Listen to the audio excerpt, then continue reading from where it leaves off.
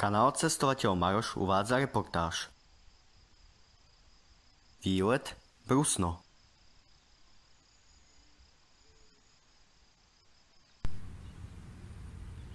Milí diváci, ja vás vítam u mojej ďalšej reportáže s poradovým číslom 125. No aktuálne sa nachádzam na stanici v Banskej Bystrici.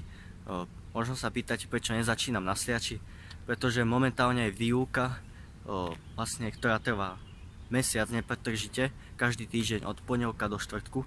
Takže som išiel dozvolna autobusom a odtiaľ semka, tak na čo to budem predlžovať. Takže budete vidieť len cestu vlastne odtiaľto. No a kam sa to dneska vlastne vyberiem? O, vyberiem sa do malej dedinky, kúpeľnej teda. No a je to Brusno, ktoré sa vlastne nachádza medzi Banskou Bystricou a Breznom. V tejto denníke som už pred rokom bol, sa len tak prejsť, neviem prečo som netočil video, asi sa mi nechcelo ale nevadí, idem tam dneska, aby som urobil nejaké to videjko, ktoré by nemalo byť nejaké veľmi dlhé, pretože je to len dedinka a samozrejme sú tam aj kúpele, takže aj tomu sa budem musieť povenovať. No a keďže je dneska pondelok, možno sa aj ďalšia vec, možno sa aj preto pýtať, že prečo točím video, pretože ja mám vlastne teraz dvojtýždňovú súvislú prax, keďže štvrtáci maturujú a druháci a majú prax. No a dneska som na prax nešiel, pretože som mal opravné skúšky z autoškoly. No a oznamujem vám uh, dobrú správu, spravil som ich. Takže už od zajtra si budem môcť ísť na policiu, teda vybaviť uh, vodicky, odfotiť sa a tak ďalej a tak ďalej. Takže som spokojný, že sa mi to podarilo spraviť. No a taktiež som rád, že aj dneska idem na nejaký ten malý výletík, aby som využil tento pekný deň, slnečný. No dobre, no tak eh, ukážem vám za chvíľu, ktorým vlakom idem, no nebudete veľmi nadšení, ani ja. No a potom ideme pokračovať vo vlaku. Tak tu teda môžete vidieť zo pár vlakov, no a ja idem prosím pekne týmto, čo stojí na druhom nástupišti. Ach jaj, to bude zase hic. Dať toto ako zrýchlený vlak do Margecian, no tí, čo cestujú minimálne po červenú skalu. Tí sa asi upražia úplne. Jeden chvála Bohu iba po Brusno, čo je 20 km, takže to nejako prežijem. Ale keď si mám predstaviť, že by som týmto mal ísť takmer 180 km, asi radšej zvolím pešiu dopravu. no, počasie celkom ujde. Máme tu zo pár mrakov, ale pršať by nemalo takže vyzerá to zatiaľ dobre. Tak už som si stihol kúpiť aj nejakú tú bagetu, nejaké to pitie, no už stojím pri tomto rozostrašnom vlaku. Takže idem dnu a pokračujeme potom.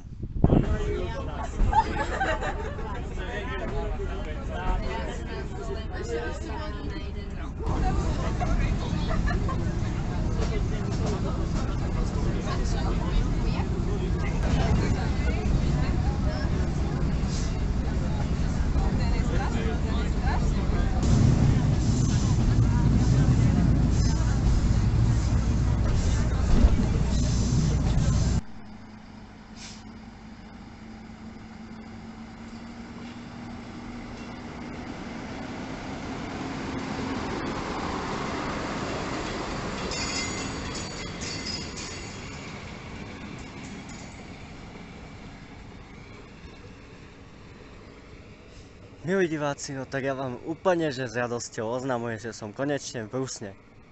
Videli ste ten vlak a tých 1 300 tisíc ľudí, čo tam boli? Tak v tom som ja musel cestovať. Jediné šťastie bolo, že som tu bol medzi prvými vlastne v tom vlaku a že som sedel. A musel som sa potom preštrikovať ze všetkých. No dobre, tak už sa nachádzam na zastávke Brusno kúpele ktorá je vlastne, dajme tomu, že v centre tejto obce, približne.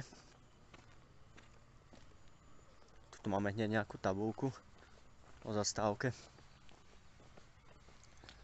Tak vám ju ukážem.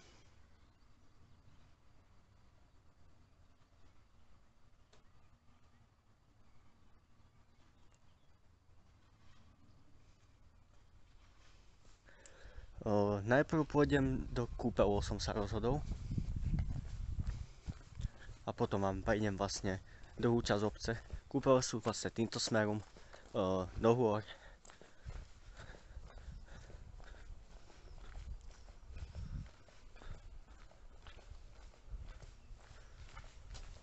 Tuto máme vestibul stanice, tak vám ho rýchlosti ukážem.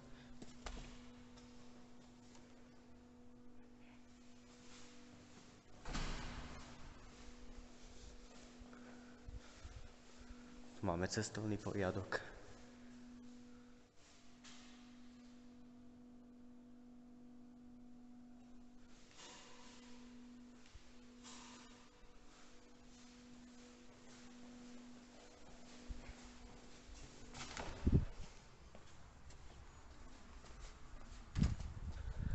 No a ja vám vlastne cestou poviem niečo aj o tejto dedinke. Cestou do kúpelov. Fotiť asi nemusím, lebo keďže som tu bol minulý rok, tak som si fotky porobil. Takže druhýkrát to asi nebude mať veľmi zmysel. Akorát sa budem s tým zdržiavať. A zase toľko času nemám, keďže sme meškali takmer 20 minút hádam. A vidíte tu už je prvá tabula. Znovu zrodenie tela i duše kúpeľná liečba. Tu vám cestou tiež poviem, čo sa tu vlastne lieči v týchto kúpeľoch a tak ďalej. Tu je taký ako mini parčík. Vlastne je tu len pár lavičiek. Tam môžete vidieť potom kríž nad zastávkou, ale tam nejdem dneska, tak vám to aspoň priblížim.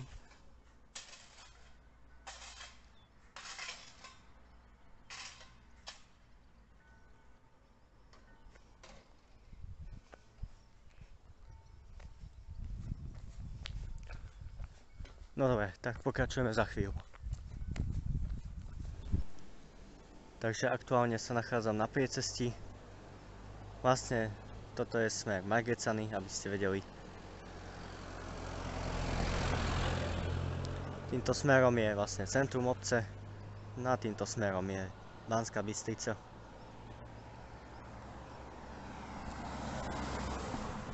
No a čaká nás trošku šlapania ale veľa ho nebude. Vidíte, aj tu ešte pokračujú domy. Majú tu pomerne peknú autobusovú zastávku. To musím pochváliť. Tam sa nám už ukazuje supermarket.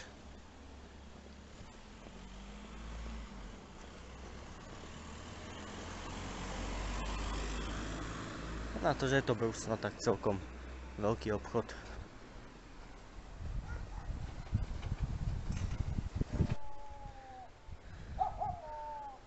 No, táto budova teda za veľa nestojí. To mi pripomína minulú reportáž zo Slovenského nového mesta šátora Jahuj Héli v Maďarsku. Tu nám brechal nejaký psíček. No dobre, no vlastne už som vám chcel hovoriť o dedine a tu som ešte objavil lekáreň. Tak to som nečakal, že tu bude lekáreň. Takže už som tu bol pred rokom, takže si nepamätám presne, čo všetko tu bolo. Ale zhruba viem, no. Len potom som sa na tie fotky už ako nedíval, keď som si ich uložil na harddisk. Ale to už nechajme tak. Tu vám ukážem tento potôčik. Božiaľ neviem jeho meno. Lebo preteká tu hron, ale ten je trošku inde, in, inej časti. Nie tuto.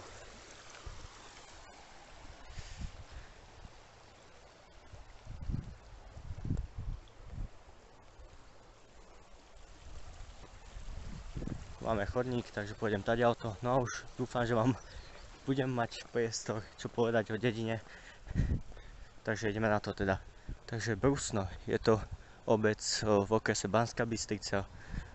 Kúpele Brusno sú známe od 19. storočia. Prvá písomná zmienka o obci pochádza z roku 1424.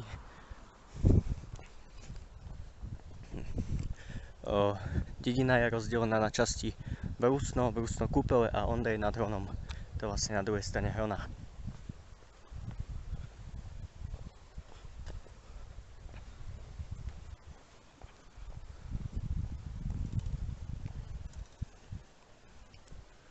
No, dejiny. To nie sú až také dlhé. Takže Brusno vzniklo spojením dvoch pôvodne samostatných obcí, Brusno a Svetý Ondej. Už v roku 1424 boli spomenuté ako obe obce Svetoondejské. Boli podánske obce občanského hradu na majetku, ktorého ležali. Počas stredoveku bol Svetý Ondej významnejší typickým zamestnaním v obciach bol podomový, podomový obchod. Obchodníkov nazývali podľa tovaru čipkármi, aj keď neskôr predávali aj iný tovar. Čipkárstvo začalo v 18. storočí, v 19. zažilo najväčší rozmach. Od roku 1860 bol Svetý Ondej sídlom Súžnovského okesu. V, roku 18, v rokoch 1892 až 1941 bola v obci aj žandárska stanica. V roku 1884 bola v časti Brusno vybudovaná zastávka na trati Banská Bystrica Podvezová, to vieme, Brusno Koupele. Obyvateľia obcí sa zúčastnili SMP v svetoondrejskej časti Bukovec. Dnes samostatná obec Pohronský Bukovec. tuto sú nejaké ešte lavičky na posedenie. No a tam zajali generálov Jana Gojana a Rudolfa Viesta. O Janovi Gojanovi som už niečo počul a možno v škole a tak ďalej. Táto časť obce bola za spoluprácu s postavcami nacistami celá vypálená. K zúčeniu obcí došlo v roku 1960, nová obec dostala meno Hronov, ale v roku 1974 sa vrátila k názvu Brusno. Tak to by bolo teda o dedine. No a teraz ešte niečo o kúpeloch. Dáme to na jeden šupňak, to mám z krku. Ale v dobrom slova zmysle samozrejme.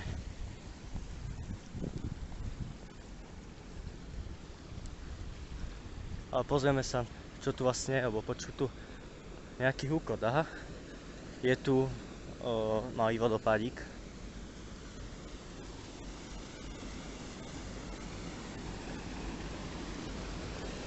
Parádička. Obecný potôčik.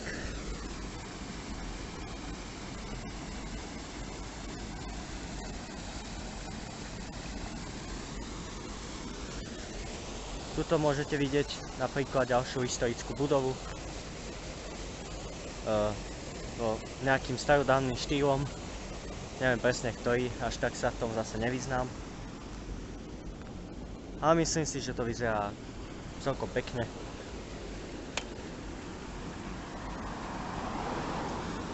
Tuto sú nejaké kúpeľné oblátky, medovina, suveníry, menší obchodík. Vlastne za chvíľku sa to už bude uh, prelínať vlastne. Z Brusna prejdeme do časti Brusno kúpele. A to už bude vlastne za touto zákrutou. Takže tie kúpele fakt nie sú od stanice ďaleko, aj keď náhodou budete sem chcieť ísť. Tak, ak pôjdete takým normálnym krokom, tak za 10 minút ste tam. Samozrejme, mne to možno bude trošku dlhšie trvať, keďže tu natáčam. Ale to je jedno. No dobre, tak niečo o kúpeloch. Kúpele Brusno ležia v údolí Slovenského Rudohoria na severovýchod Banskej Bystrice, no to je začiatok teda na severných svahoch Vepra v ústí doliny zvanej Peklo v nadmorskej výške 424 metrov nad morom. Peklo? Fakt? Zaujímavé. Najväčšou pýchou našich kúpelov je čistý vzduch, neušené ticho a krásna okolitá príroda, v ktorej človek zabudne na každodenné starosti a naplno si užite chvíle pokoja a oddychu. akí sú sebavedomí. Z kúpeľov je pekný výhľad nielen na okolité hory, ale aj na končiare nízkych tatier, hlavne na dominantnú prašivu a veľkú chochulu nad morskej výške 1753 m nad morom. Kúpeľné miesto je charakterizované ako oblasť mierne stimulujúcou klímou. Služby sú komplexne poskytované v modernizovanom liečebnom dome Polana.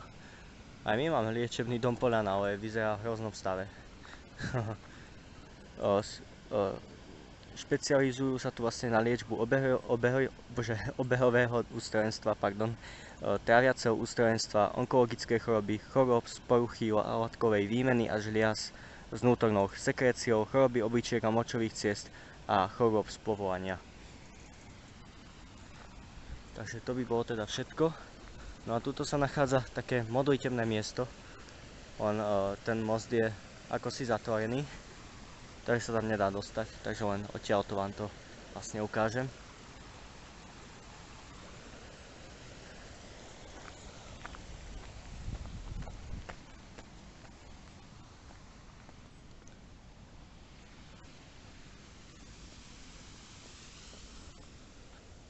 Tu už je vlastne značka kúpele, futbalový štadión, základná škola, obecný, to ešte všetko vidíte. A podstatné je najprv prejsť tie kúpele, aby som sa sem už trepať nemusel potom. Tuto máme nejakú ďalšiu tabulu. Rozvoj baníctva, to je čierne peklo, tak čierne peklo je to nakoniec.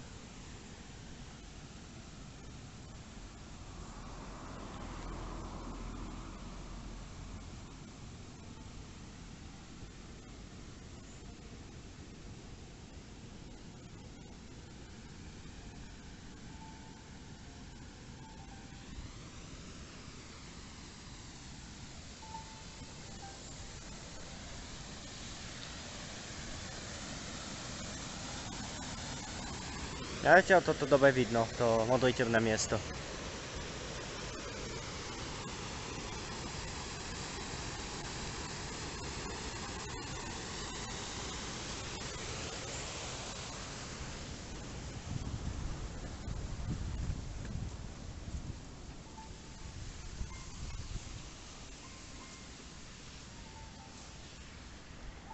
No, pokračujeme za chvíľku, keď budem na konci brusna.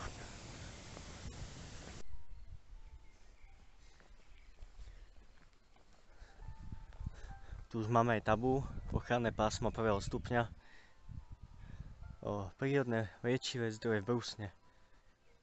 Zakázané vykonávať všetky činnosti bla bla bla, ktoré by mohli negatívne ovplyvniť o, vlastne tieto kúpele. No tu už máte dôkaz, že sme v časti brusno kúpele. Oralský Bukovec, 7 km. Vidíte, tu vlastne začína dedina.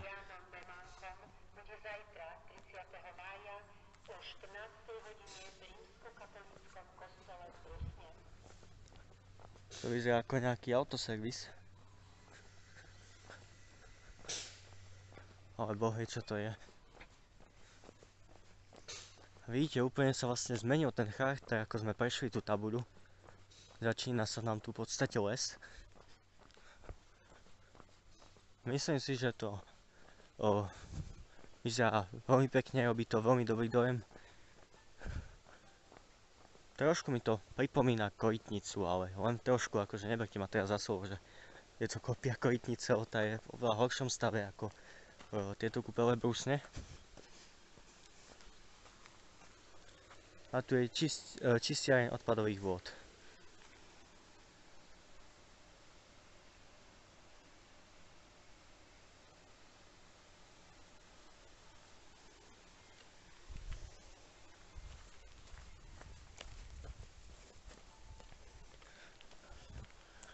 No a tu už sa nám to vlastne pomaly ukazuje. Všetky tie budovy. Parkovisko. Takže idem si to rýchlo naklikať a pokračujeme napríklad pri tejto fontáne.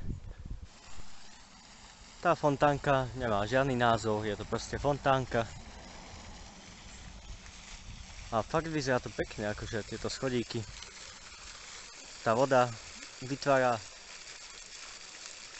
zaujímavý, no neviem proste čo, zaujímavý efekt, tak by som to asi povedal. Ako to padá dole po tých schodíkoch.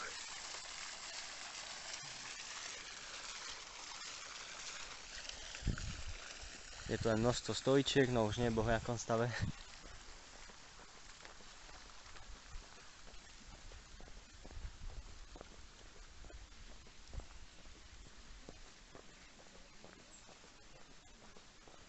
Máme aj prvý kúpeľný dom. A už tiež schátelý a nepoužívaný.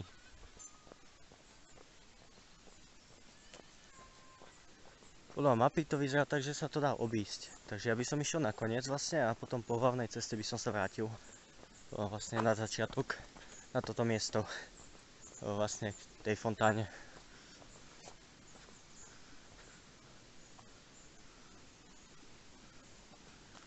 Dobre, tak som to asi zarekol. Čiastočne to asi aj pripomína kvalitnicu, ale, ale nie všetko lebo niektoré časti fungujú. Hlavne tá budova, čo som vám spomínal, kde sa vykonávajú vlastne tie liečby.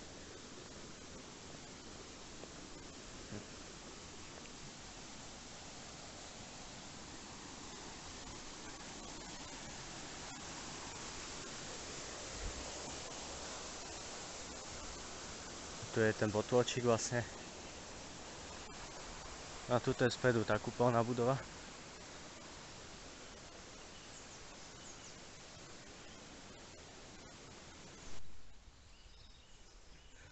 Tuto je ďalší kúpeľný dom. V podobnom stave ako ten prvý.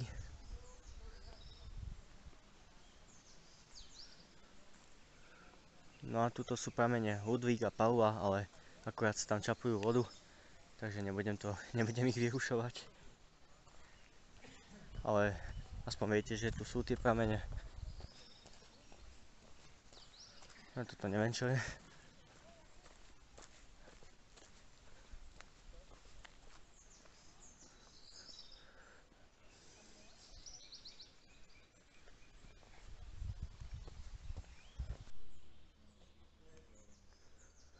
Tu máme liečebný dom Vepok. Tu aspoň zostal názov ešte. Na tu je prameň Ondej.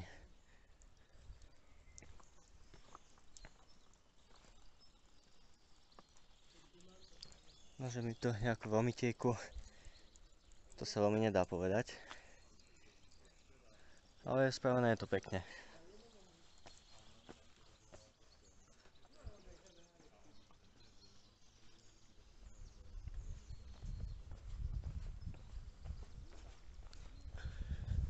Bohužiaľ vám nebudem vedieť opísať všetky tie uh, liečebné domy, lebo majú už tie tabulky s názvami proste strhnuté asi.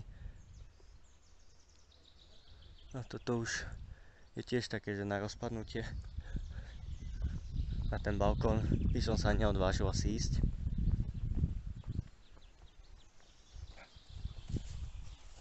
Toto je volačo. Ale neviem čo to je. Asi nejaká studňa alebo čo.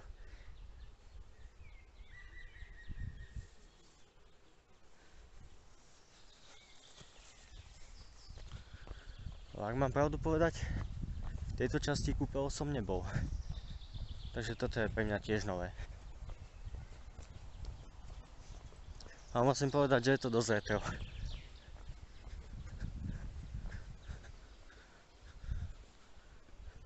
Vidíte ako keď som bol v podstate na Sviači. Takže to pre mňa nie je nič zvláštne, v podstate som na to zvyknutý. Sviatské kúpeľne vyzerajú o nič lepšie. Len to škoda, že sa to proste štát nestará. Akože dobre, tá jedna časť tam funguje, túto Brusne, ale toľko budú nechať skátrať. Tiež nie bohvie čo. Tuto máme vlastne pokračovanie toho potoka.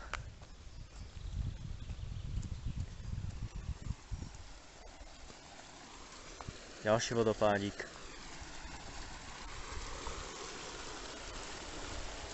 A toto je naozaj pekne vymyslené.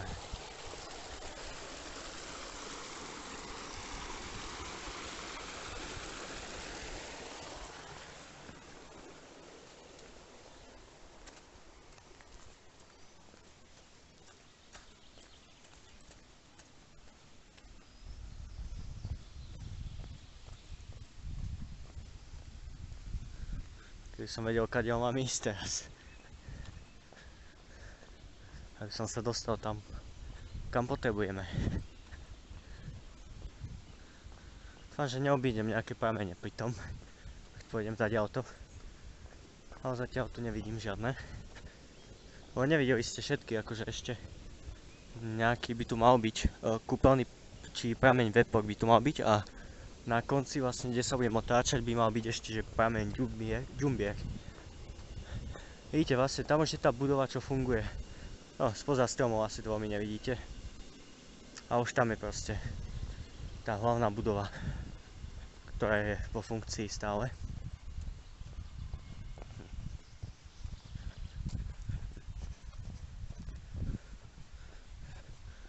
Ale je to taký celkom krút. Tu sú ďalšie lavičky. Možno aj dobré túry by tu boli, lebo fakt tie hory sú tu dosť vysoké. Musím uznať, vyššie ako nad, nad Sliačom. Takže turistika tu určite je vo veľkom štýle. Neviem, či miestni veľmi chodia po okolí sa prechádzať, ale možnosť je. To je podstatné.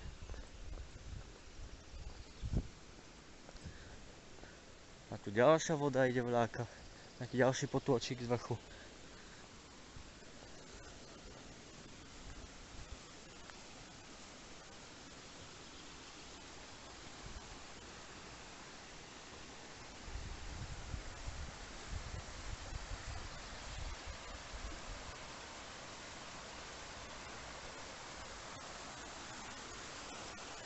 Možno som sa zase prekecol, že to bude krátke video, no asi nie. Dúfam, že to nebude mať hodinu. A akože v tých kúp... lebo je tu toho dosť, no, v tých kúpeloch, čo by sa dalo točiť. Samozrejme, ešte tu keciam pomedzi to. A tu máme nejaké železničné podvaly. Aspoň jedna opravená vec, most. Mám taký pocit, že musím ísť auto. Asi áno.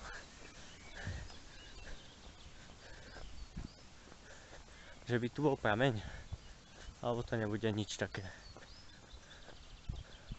A niečo tu je, ale... Aha. Tak som to našiel. Je to prameň vepor. Tak. Dobrý inštinkt. Inštinkt môj. A tiež to veľmi silno netečie, akože. Ak chcete, tak uh, to môžem ochutnať a povedať vám, ako asi chutí tento prameň.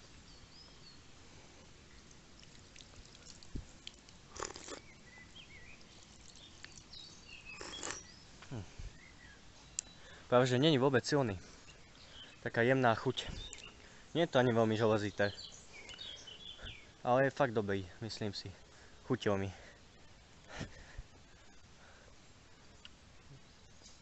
tuším, musím pokračovať tady auto, ale za chvíľu sa uvidí.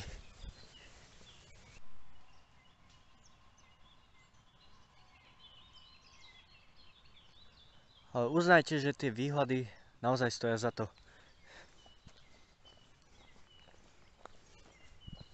Myslím, že trošku krutý názov na túto dolinu, že Čierne peklo.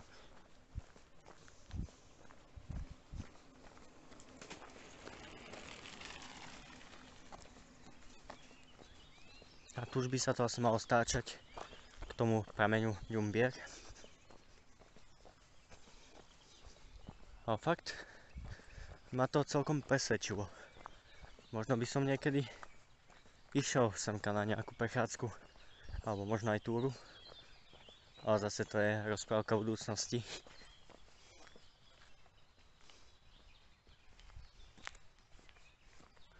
Fakt veľmi pekné lesy. Možno aj dobre, že som minulý rok vlastne netočil reportáž to, pretože to som bol ešte v apríli, ak sa mi zdá. No a toto bolo ešte všetko pusté, nebolo to zelené, vôbec vykvitnuté. Tento rok sa mi zdá, že všetko začalo kvitnúť o niečo skôr ako minulý rok. Bolo to také opozdené. Až máji to začalo v podstate. Ale to je len môj názor.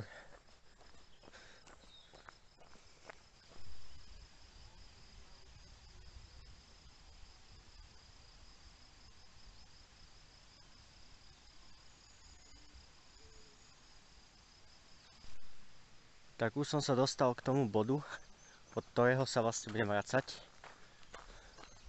A už druhou stranou. No tu by mal byť niekde ten prameň. Ale ja ho ako si nevidím.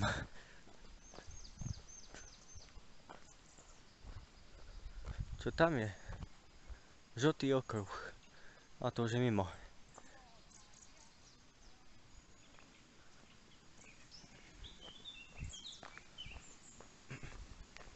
Máme nejaký kríž. No, ide aj prameň. Aha, tam je. Dobre, tak pojem k nemu teraz. Môžete vidieť ten kríž.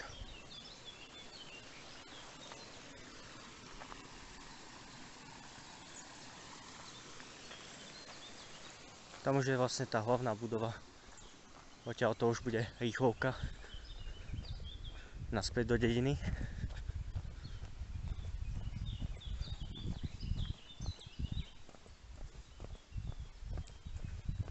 Ale uznajte, dnešná reportáž žije prírodou.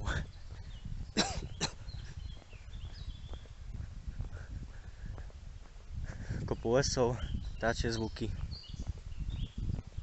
veľa prírody. Takže ja myslím, že o, môžem byť spokojný.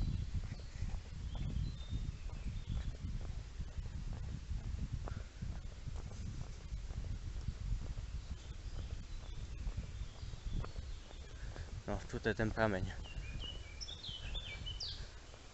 Zase ho skúsim degustovať ako víno. Ochutnáme aj tento. Tento už má trošku lepší prúd, ale tiež to nie je také silné. Ale nevadí.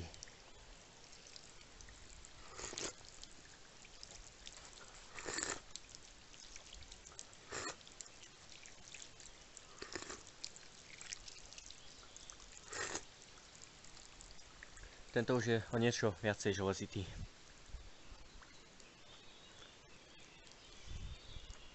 Ale tiež je dobrý chuťovo, nie je nejaký silný.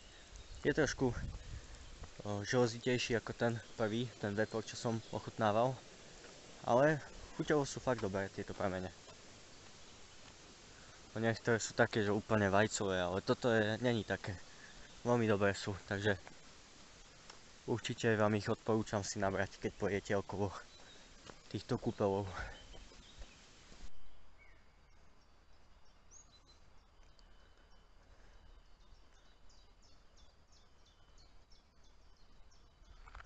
Táto cesta má veľmi zaujímavé ukončenie. Pozrite sa. Takýto zjazdov. Akože môžem dať nejakú zábranu. O niekto, kto dlhšie vidí, by si myslel, že tu možno niečo je. A vlastne nie. Je to dosť viditeľné. Už táram hlúposti. Ale to aj tak zaujímavé, akože asfaltka a zraz.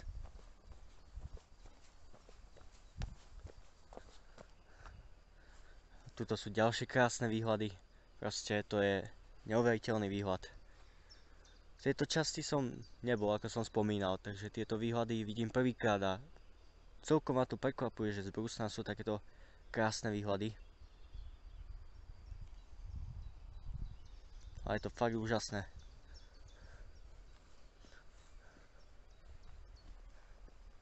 Proste aj tieto lesy, proste je tu toho kopu. Akože možno si niektorí poviete, že brúsno, že čo to je. Tiež môjim hlavným cieľom je, cestou zakopov, že môjim hlavným, hlavným cieľom je točiť mesta, ale keď mám čas, tak po obede napríklad takto, tak si dám nejaký kratší vývod vždy do nejakej obce, ktorú považujem za niečím zaujímavú. A Brusno ňou rozhodne je. A tu už začína vlastne ten dom. Ešte mám pláne prejsť eh, pod Hajsku. Prebehu týchto dvoch týždňov, ak sa podarí.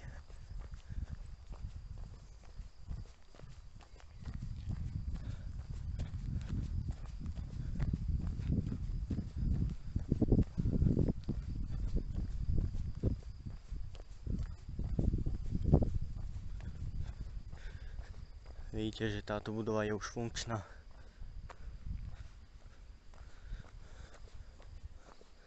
A tu je nejaká reštaurácia.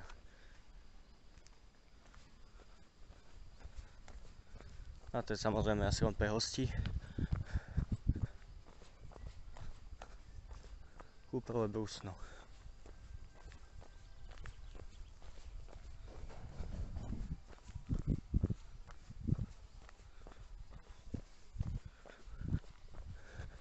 Takže už sa blížime ku koncu prehliadky kúpelov.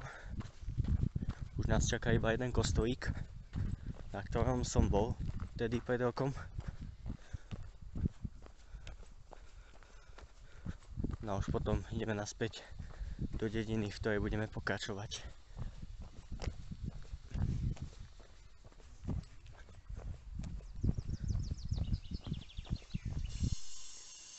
Tak tu môžete vidieť ten liečebný dom Polana a myslím, že tento pohľad je veľmi krásny tento dom a tie hory za tým. Proste úžas. Vám to takto osvetlím aj nech to lepšie vidíte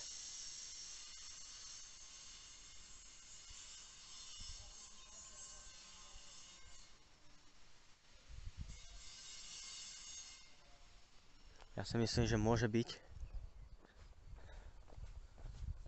No.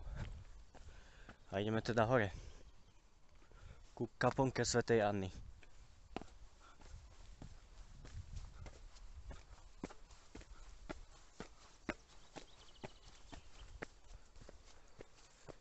No a tu ju máme.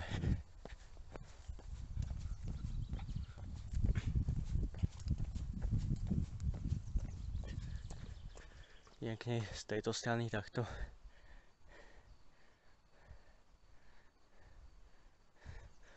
A sú aj, aj informácie.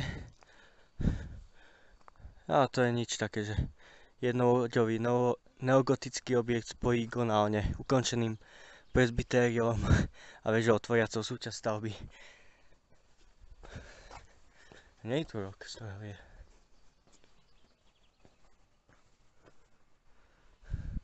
Aha. Tak tu je o tom napísané.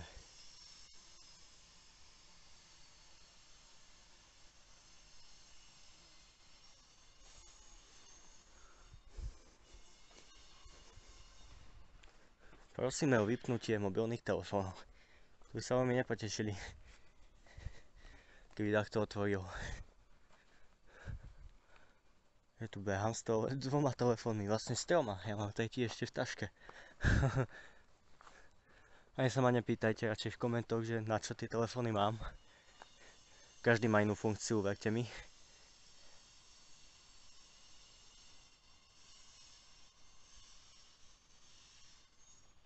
Myslím, že tá kaponka je fakt pekná.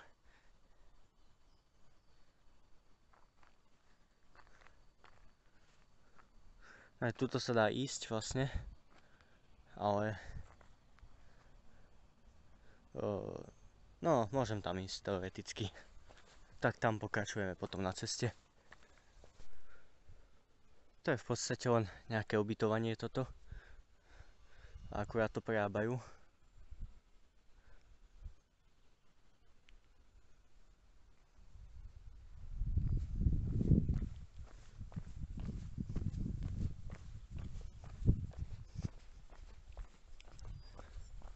Vlastne taďal sa ide k tomu domu Poľana.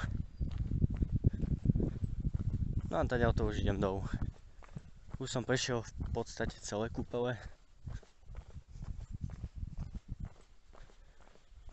Takže sme Brusno obec. A ak by som náhodou tuto našiel niečo, čo som vám nenatočil, tak samozrejme ešte urobím záber. Tak predsa sa tu ešte dačo našlo. A je to táto soška.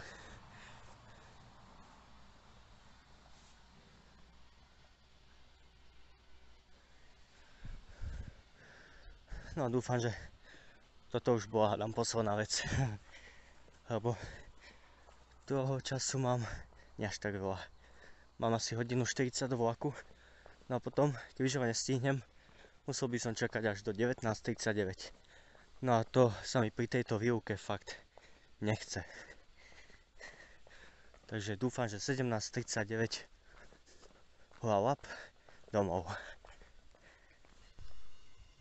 Máme ešte nejakú drevenú sošku. Čo to je? Vlk? Asi áno. Však áno, zavíja.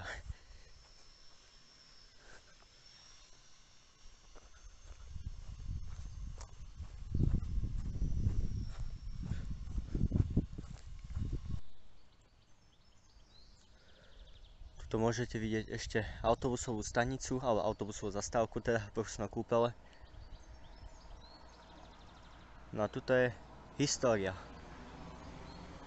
a mapa.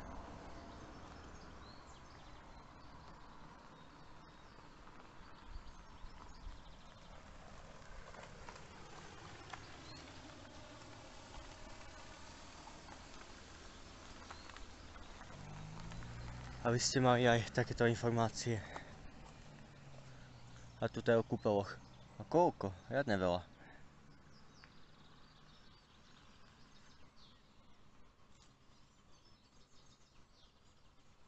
Až na to, že je to trošku špinavé, ale aj to sa počíta.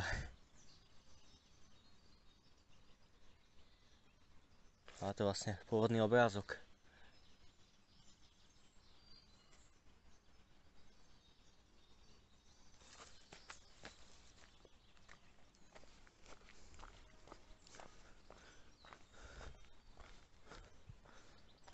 Fú, koľko tých turistických oblastí.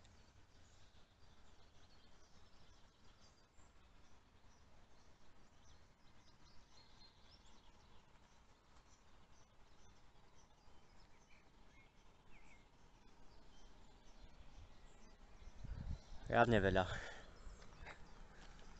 Ale tak to má vyzerať.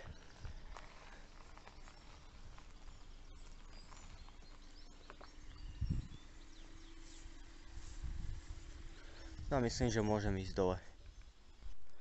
Len pre zaujímavosť, nad nami sa nachádza miesto, ktoré sa nazýva že Hríbikovo.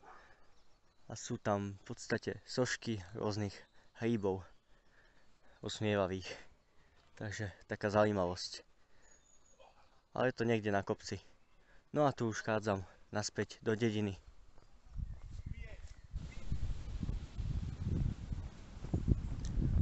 Fakt nádherný výhľad.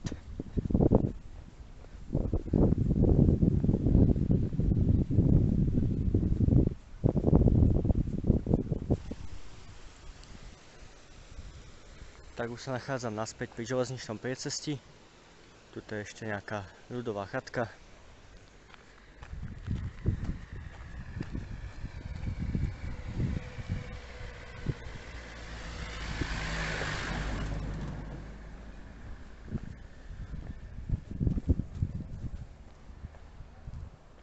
Vlastne idem touto stranou. Potrebujem sa dostať do časti Ondrej nad Hrunom, ktorý je fakt kúsok odtiaľto. No a tu sa nachádza hasická zbrojnica.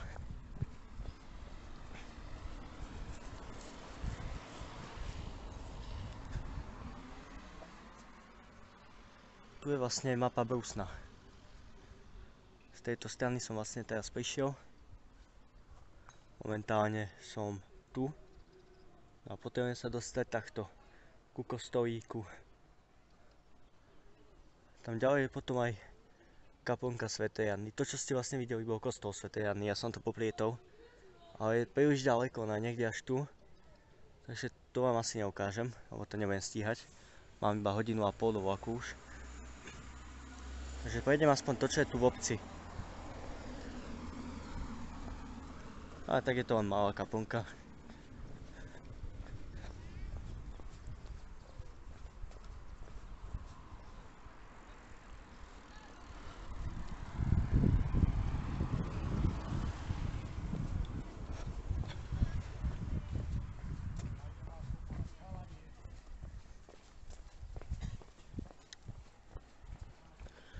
No a tady auto sa už ide do tej časti No to nie je ďaleko, akože ono je to všetko teraz blízko. Tie kúpele, to bolo asi tá najvzdialenejšia časť. Takže už by to malo ísť hladko.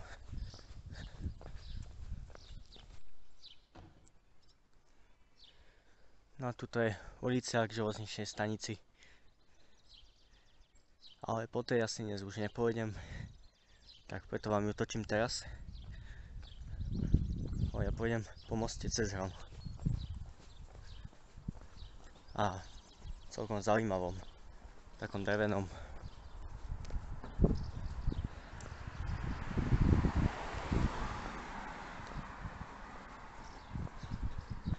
No a tu už za zákrutou vlastne začne ten Ondej nad Hronom. No tam nás čaká potom ten obecný úrad, kostol a ďalej však uvidíte sami. Bude nejaké ubytovanie, drogéria. Kvety drogéria a tovar, vlaky. No a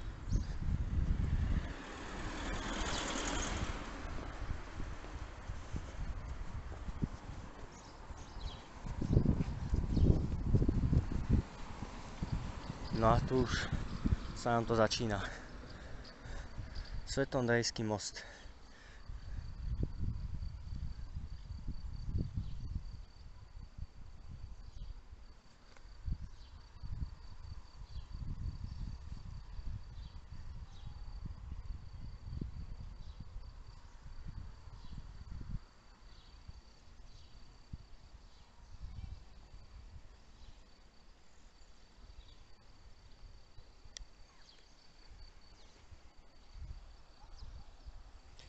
Čo myslíte? Že je to pekné?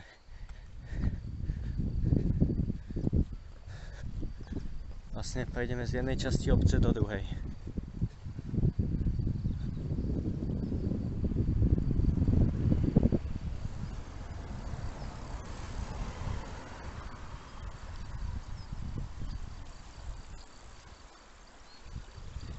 A pre tých, ktorí nevedia, toto je rieka Hron.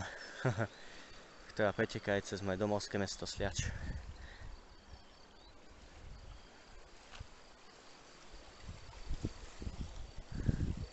A fakt je to kúzelné miesto toto brusno.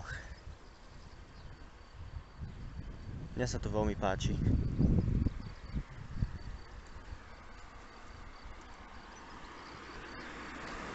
Vlastne po tom moste pôjdem, čo som vám spomínal, naspäť. Taďal to plánujem.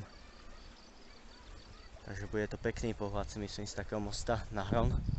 No a k tomu kostolíku vlastne idem. Čo ste teraz videli. Toto je, toto je vlastne také námestie, čo tu majú.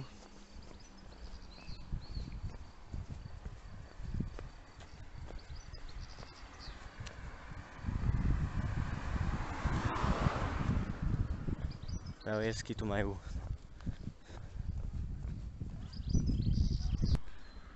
Tuto sa nachádza pošta, športové stavky Tip Sport.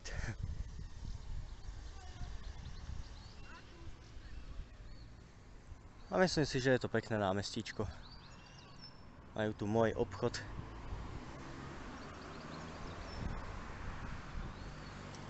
Takže myslím, že na obec celkom nadštandard takéto námestie.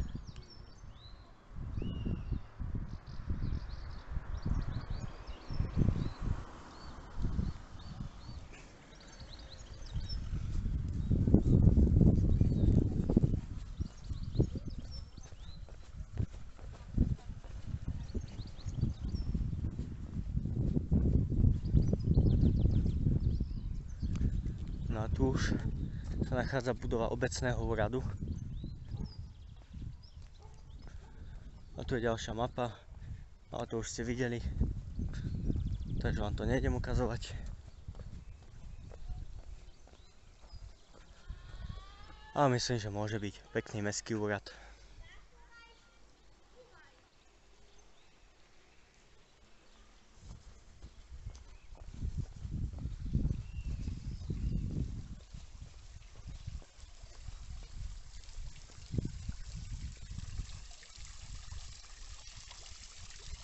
Fontánka ujde.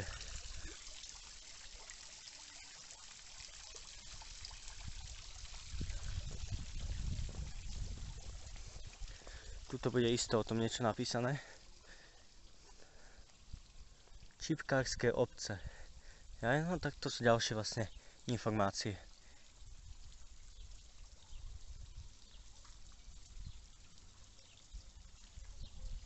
To som aj spomínal vlastne.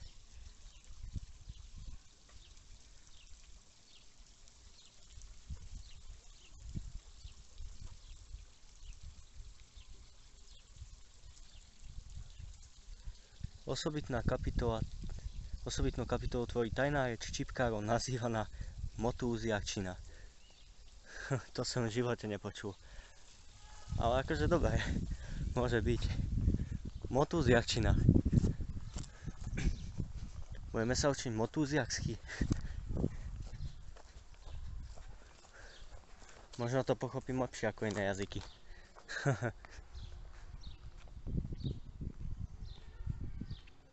Odtiaľ to máte výhľad na veľkú časť obce.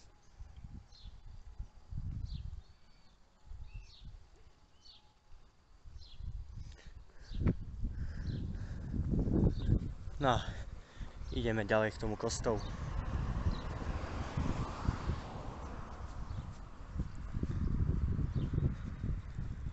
Tuto je nejaký ďalší altánok.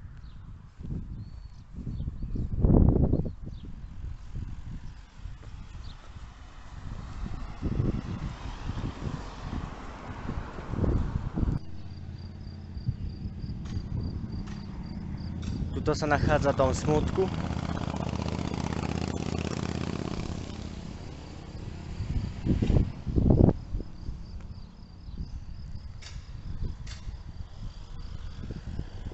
No a tu už je za stromami kostol svätého Ondreja, ku ktorému práve idem. No a tu je ešte predtým nejaký dom umenia a tradičných remesiel. Musím počkať, je mi tu auto.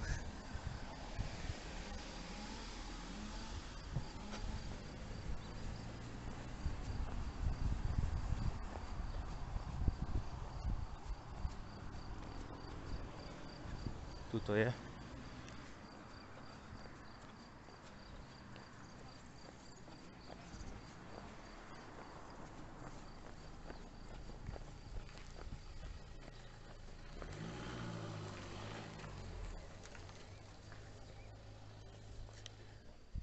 Tu je to aj napísané.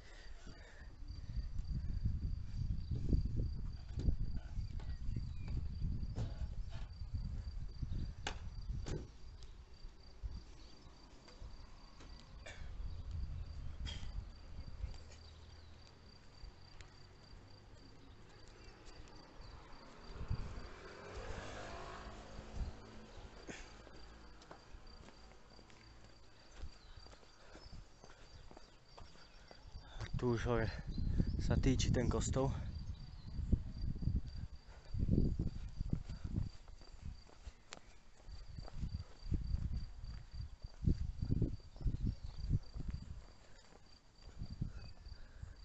Tu je nejaký pamätník. Vlastne pamätník SMP, obete druhej svetovej vojny.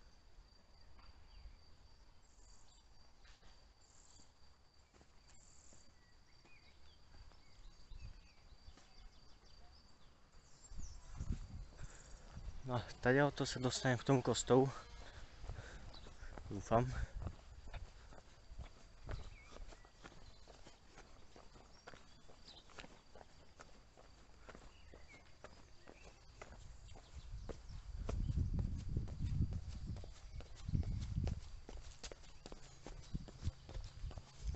Je to celkom strmák.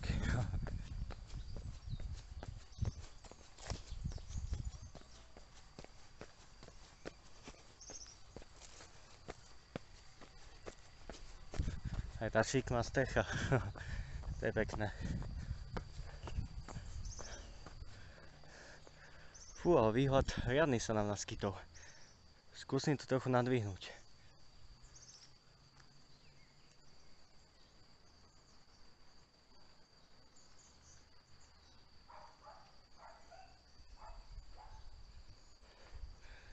Myslím, že to môže byť.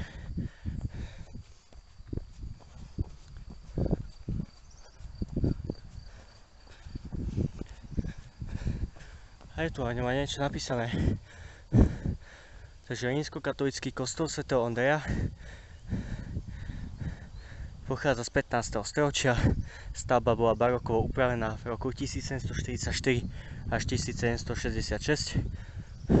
Kostol má hladké fasády a väžu ukončenú ihlancovou je tá striežka, to je jasné.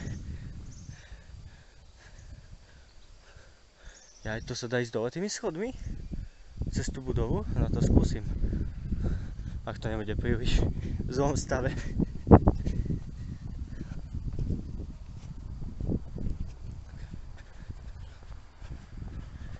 Ideme sa na to pozrieť z druhej strany. Tuto už je vlastne prvý výstup Brusna. Brusna. A tuto sú ešte informácie o kostole.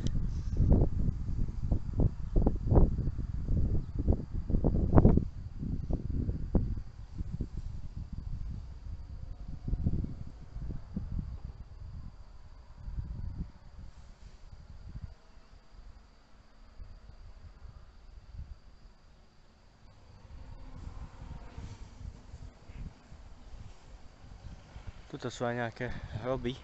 Vlastne tu už je cintorín. Tak sa čudujem.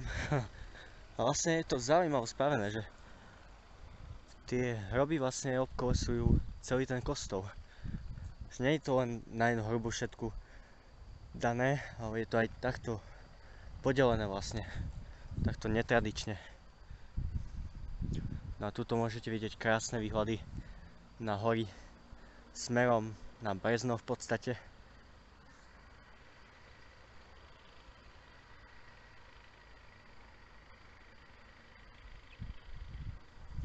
Hold, no, Slovensko je pekné. A myslím, že každým videom vám to aj dokazujem. Samozrejme, niektoré miesta sú zaujímavejšie, niektoré menej. Ale každé to video vám ukáže nejakú tú časť Slovenska. A vidíte, kostolík je pekný podľa mňa. Johancovitá väža, či helmica, ako to nazvali. Vlastne tu je mapa toho. Takže je tu obkolesené v podstate skoro celý ten kostol.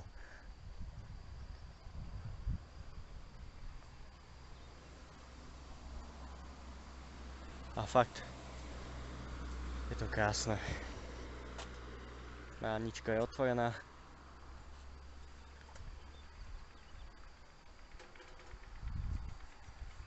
Takže môžem tady auto prejsť vonku.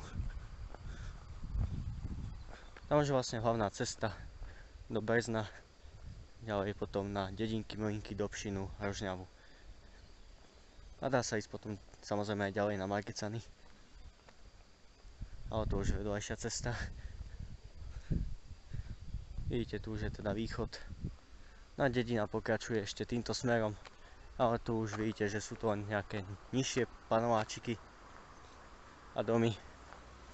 Vlastne už len táto jedna ulica sa potom ťahne.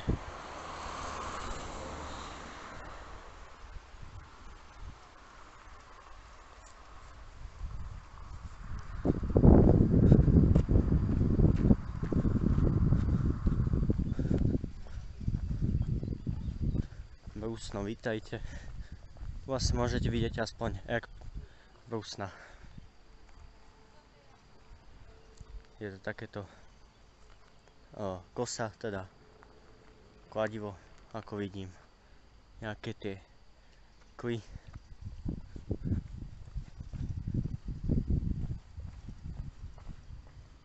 Tu ešte vidno vrchol kostola.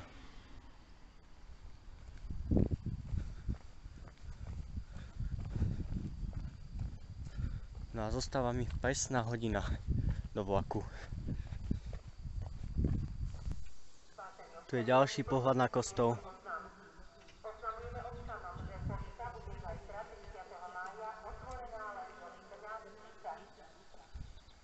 Obecný rozhlas.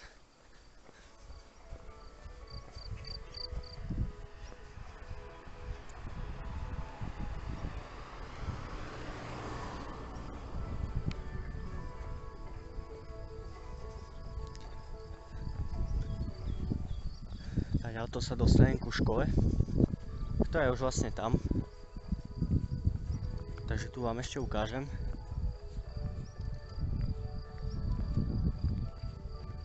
Ale na tú kaponku, čo je mimo dediny, to už asi nebude. Ale zase nechcem prísť za 5 minút 12. aby som sa nenáhlil.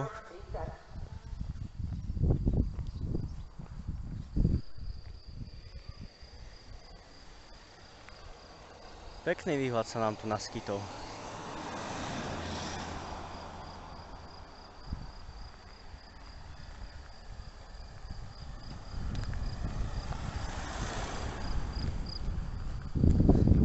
Keď idem tam ďalej, tak sa potom dostanem vonku z dediny tej kaponke Svetej Janny, ale tu už pojem ku škole. Možno, že na tú kaponku aj to vidím, ale neviem, zistíme to za chvíľu. A tu tá cesta je trošku do kopca, takže neviem to odhadnúť. Ale riskovať to nebudem. Hazardovať s tým časom.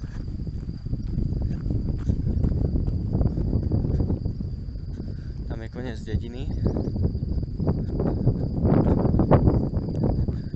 No, vidím tabu vstupnú do dediny, ale kaponka tá bude asi niekde vyššie. Mm -mm. Nebude na kaponku. Musím to stočiť tuto dole ku škole.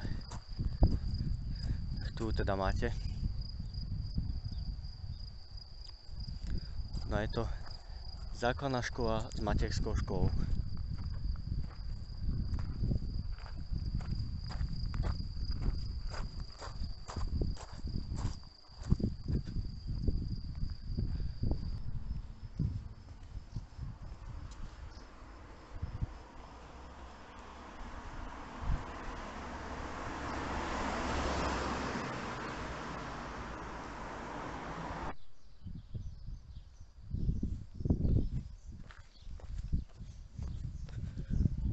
Už pokračujem po ulici Záhumne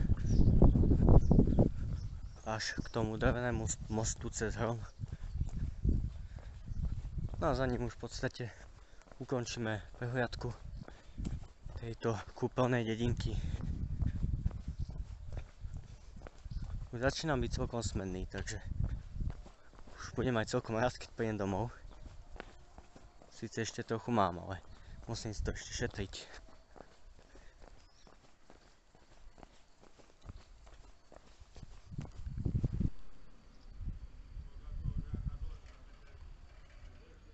Tuto sa nachádza hotel Brusno.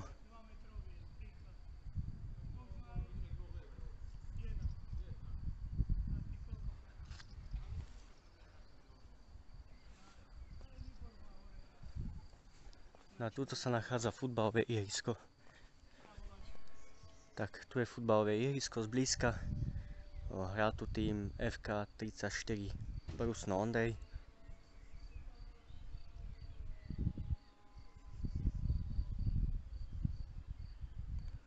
No a to bola vlastne posledná vec, ktorú som chcel v obci natočiť. Už ma čaká len cesta na stanicu, cez ten most cez Hron. No a tuto sú aj paneláky.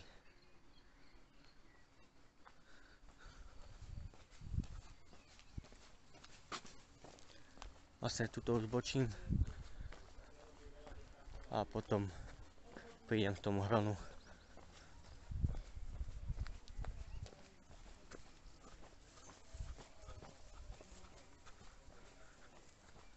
Aj tuto je ešte nejaká oddychová zóna.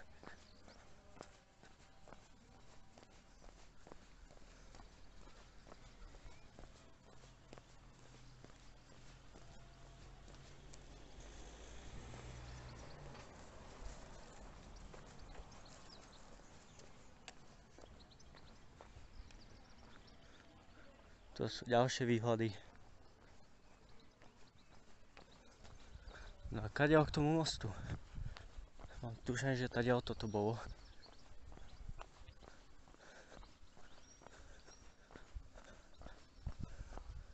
Áno, tady to sa dostanem.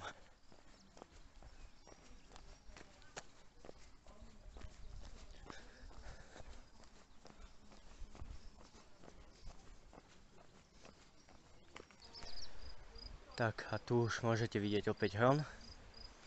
Ja cítim ten príjemný chládok tej vody. Vy to necítite. V tom mám oproti vám výhodu. Teraz v tomto momente. Je to fakt veľmi príjemný pocit.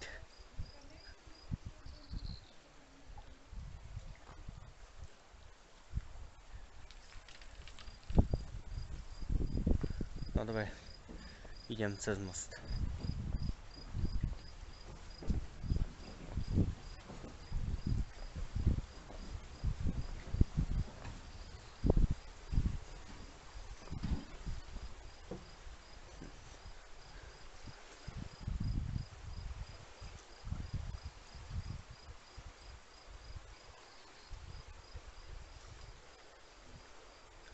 Parádička.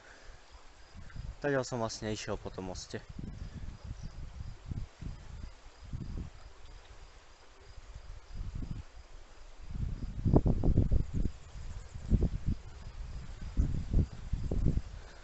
No a tam už opäť vidno ceste. No a to už je vlastne finále prehliadky Prusna. Takže ako som spomínal, v priebehu týchto dvoch týždňov, ak sa podarí, prejdem ešte obec Podhajska smerom na Bratislavu. Vlastne je to medzi Lavicami a Šuranmi. A je to vlastne rýchliková zastávka. Takže ma to tam celkom láka. O, to by malo byť o niečo jednoduchšie si myslím. Nachádza sa tam síce kúpalisko, ale dedinka nie je veľká. Takže to bude zase o, jednoduché ako aj dneska.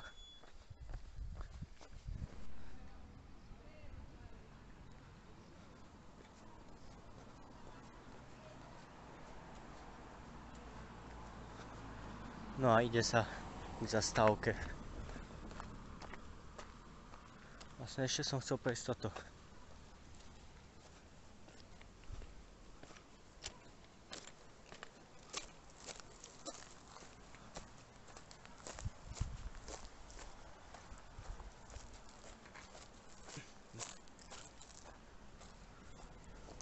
Tieto tuto.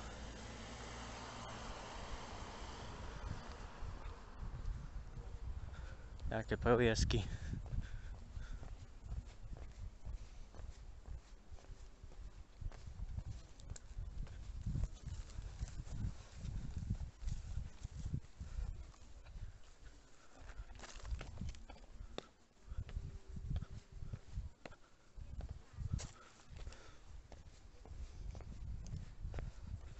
No a hurá, prúsno kúpele.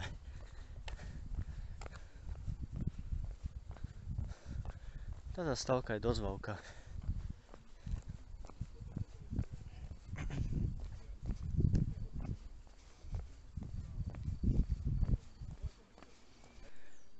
Keďže mi ešte zvýšil čas, tak som sa rozhodol, že výjdem predsa len túto uličku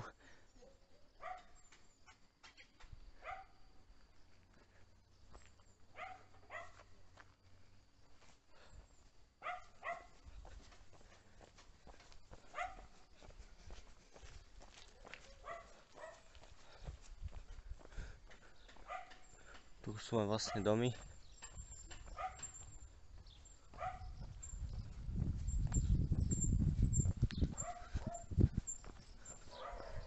No a tuto sa dostanem k lávke ponad železnicu.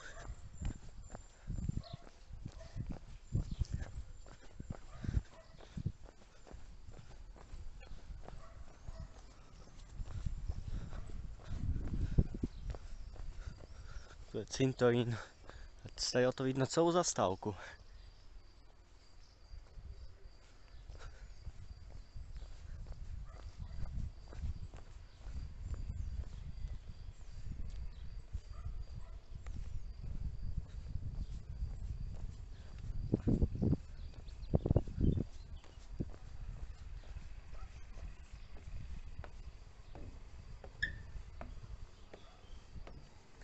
Tá válka sa mi dva razy nepozdáva, ale čo už. Nemám rád takéto vysoké miesta, ale čo nespravím pre video.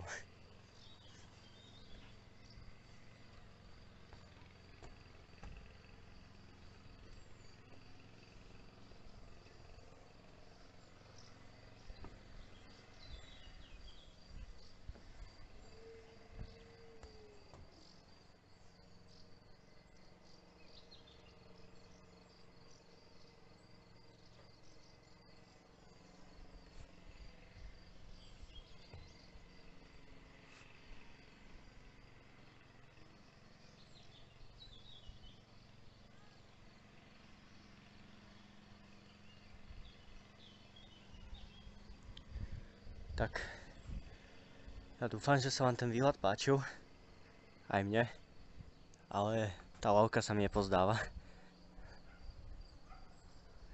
Takže zídeme rýchlo dolu a ukončíme túto prehliadku. Tak nakoniec sa zmenili trošku okolnosti, keďže zrýchlený vlak z Margecian meška 22 minút. E, tak som sa rozhodol, že pôjdem predsa len autobusom do Bystrice na Štadorovo nábrežie. Stadiaľ dozvolená na as a zozvolená na Sliač. Takže tak toto vyšlo, ale nemám veľmi na, na výber, lebo vlak by mi išiel až o 6 a to by som tu tvrdol ešte viac než pol hodinu. Takže radšej využijem autobusovú dopravu, aby som sa dostal čím skôr preč odtiaľto. A možno budem aj skôr doma, keď pôjdeme takto autobusom. Takže neviem, kde to ukončím. Keď budem mať možnosť, tak to ukončím. Možno buď na tej Bystrici, alebo možno zvone, ale uvidíme. Takže počkám na môj autobus a potom pokračujeme.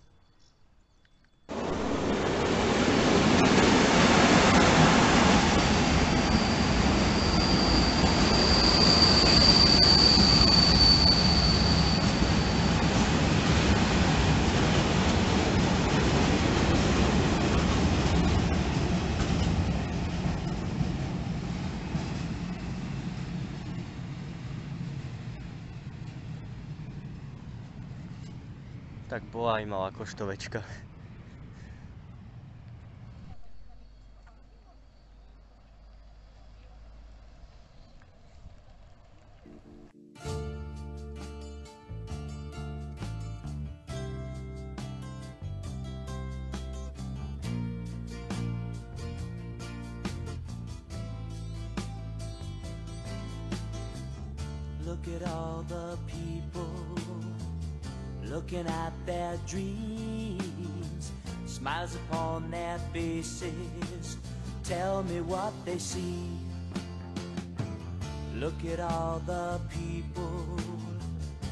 They gone astray? Living for tomorrow with dreams of yesterday. Lovely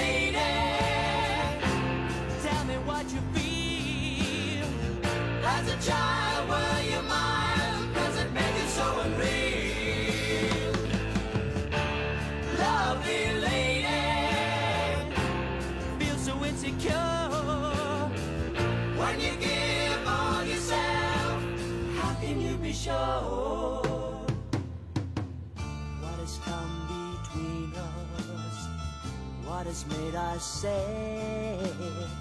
Childhood's forgotten yet it's hiding in the past. What has come between us is something in our sails, lines upon our faces, saying no more time for rest. Lovely lady, tell me what you feel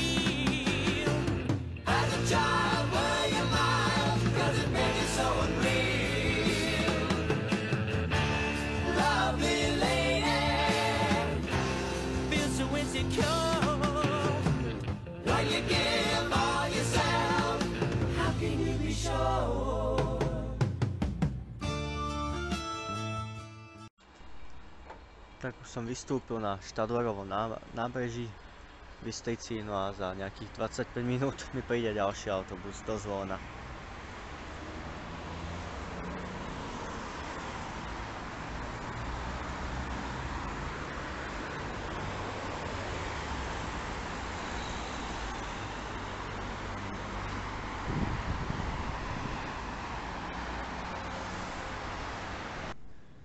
Tak a už sa nachádzam vo zvolenie na autobusovej stanici.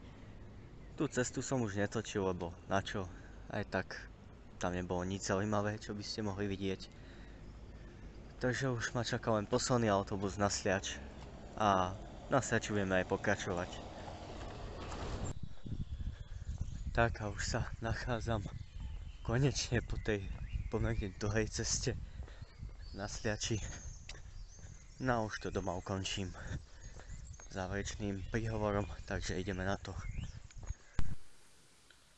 Tak milí diváci, a máme tu koniec dnešnej reportáže.